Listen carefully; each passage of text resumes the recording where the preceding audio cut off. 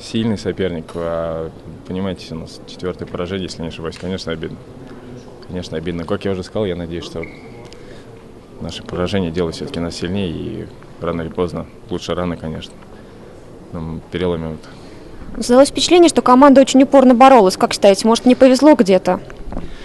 Не знаю, уже много мыслей в голове. Вроде и там ищем, и здесь ищем. Будем искать, будем разбираться, надо выбираться.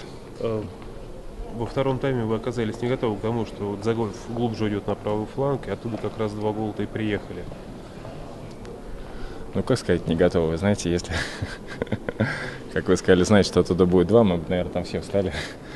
И ну, футбол, к сожалению, так бывает. Игнат, э, вот если не ошибаюсь, вы в первый раз вышли пять защитников в этом сезоне. Это специально под ЦСКА было или, в принципе, теперь переходите на тазовую схему? Ну, думаю, это был конкретный матч, думаю, под конкретный матч под- подводится определенная схема.